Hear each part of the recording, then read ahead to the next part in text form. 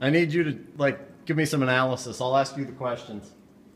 Uh, I don't know if I'm the best person for that.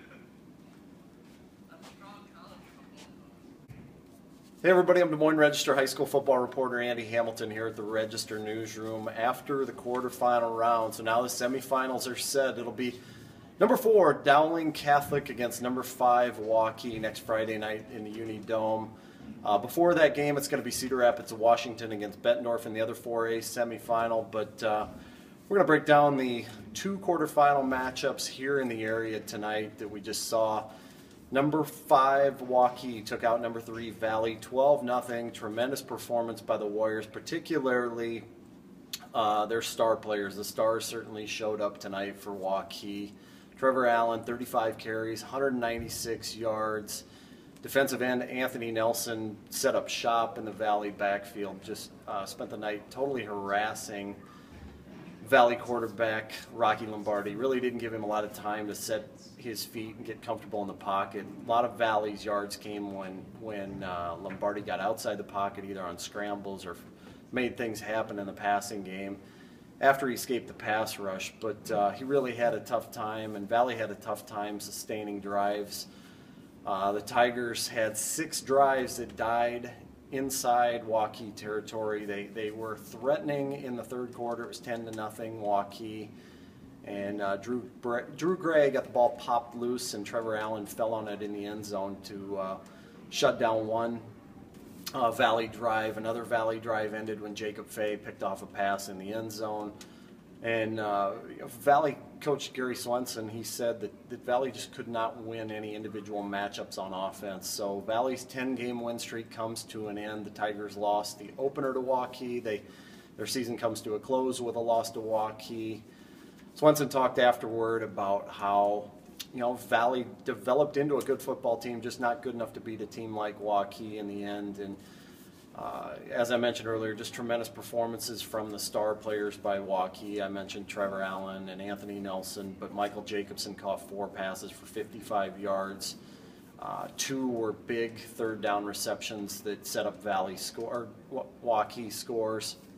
And Pat Gray picked off a pass. Waukee collected four takeaways on defense. So the Warriors advanced to the semifinals for the first time in Class 4A. They've set a 4A or a program record for 4A victories with 11 now. And they're going to get a rematch against Dowling Catholic, the team that handed Waukee its only loss of the season, 45-14, back in, in week uh, three. Uh, Dowling Catholic continues to roll ever since that loss to Valley. The, the Warrior, the Maroons have been on a tremendous tear ever since then.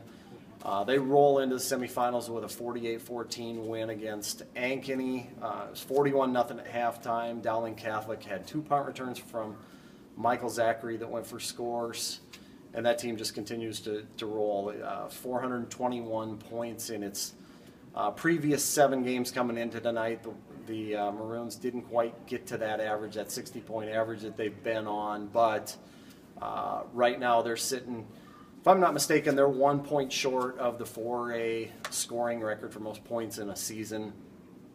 Uh, you know, I'm really looking forward to Friday night. We're going to see another tremendous uh, semifinal matchup. It's going to be interesting to see what kind of adjustments Waukee makes against Dowling Catholic last go round. As I mentioned, 45-14. The Warriors didn't have Pat Gray, who's one of their most versatile players, one of their best players in that game.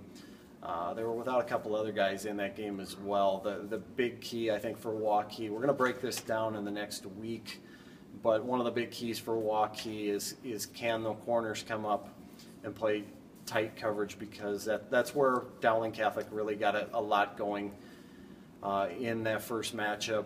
Ryan Boyle was able to pick apart that that Waukee secondary with a lot of short passes. Can Waukee bring those corners up and defend the pass a little bit better. The other thing that Waukee's going to have to shore up, uh, the Warriors had two punts, two punts blocked uh, in the first half of that game where things got out of hand, and they were just never able to establish a running game with Trevor Allen.